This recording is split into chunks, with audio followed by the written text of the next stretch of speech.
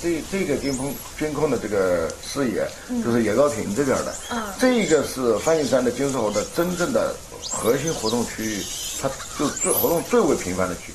在野外的这个金丝猴的，现在，呃，它它的种群数量是基本保持稳定的，但现在就是我们要，我我们要给它提供一个它适适合于它的生存空间。这个区域它的粮食只够多少人吃，哎，它就保持多少的人口。嗯，猴也会这样。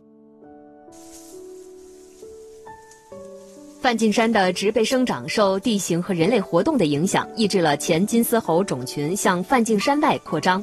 今年初，梵净山所处的江口县、松桃县和印江县围绕环山公路建立生态廊道，通过种植前金丝猴栖息和捕食的玉兰花、枫杨、四照花、猕猴桃等植被，拓宽前金丝猴生存空间。通过我们的观察，我们发现金丝猴现在在这对面的山上是活动的，我们也发现它会。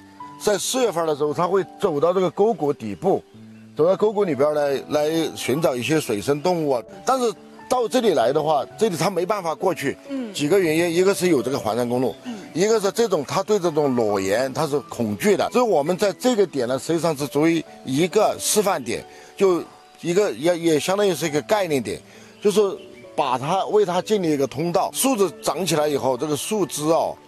它从树枝上可以荡过去，就形成一个天，就形成一个天然的。但是过去以后，你看那边是裸岩，它本来不喜欢的。嗯，我们把裸岩的岩面把它改造了，没有裸岩了。